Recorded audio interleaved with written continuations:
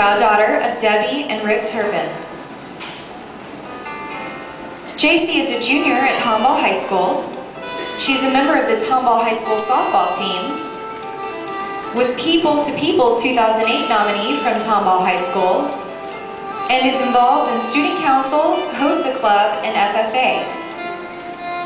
Her next personal goal is to graduate with honors. Her fondest wish is to find a cure for diseases such as Alzheimer's, which her grandfather is suffering from.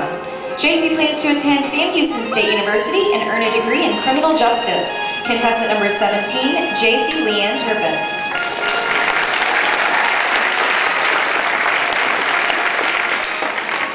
Contestant number 18, Carolina Joe Berkheimer Lubeck. Carolina is sponsored tonight by Joe's Barbershop, and she is the daughter of Donnie and David Lubeck. Carolina is a junior at Tomball High School. She was on a lifeguard competi competition team and awarded Top Gun Lifeguard. She won second and third place with her rodeo art. She won second best backstroke on her summer, summer league swim team. Next personal goal is to start a Big Sister group in Tomball with young girls. Her happiest memory was this summer when she saved a guy that was having a seizure. Her fondest wish is to succeed through college with few problems, get a great job, and lead a successful life. Contestant number 18, Carolina Joe Berkheimer-Lubeck. Next we have contestant number 19, Camry Erin Moore.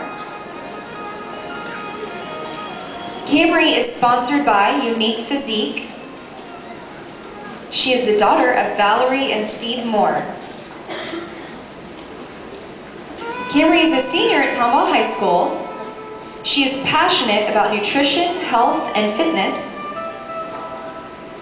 She is the president of Business Professionals of America and Cougars for Christ.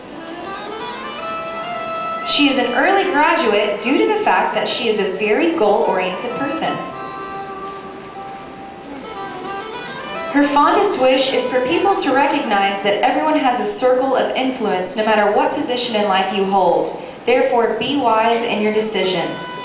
She plans to attend Sam Houston State University and get her certificate to become a certified nutritionist. Contestant number 19, Camry Erin Moore.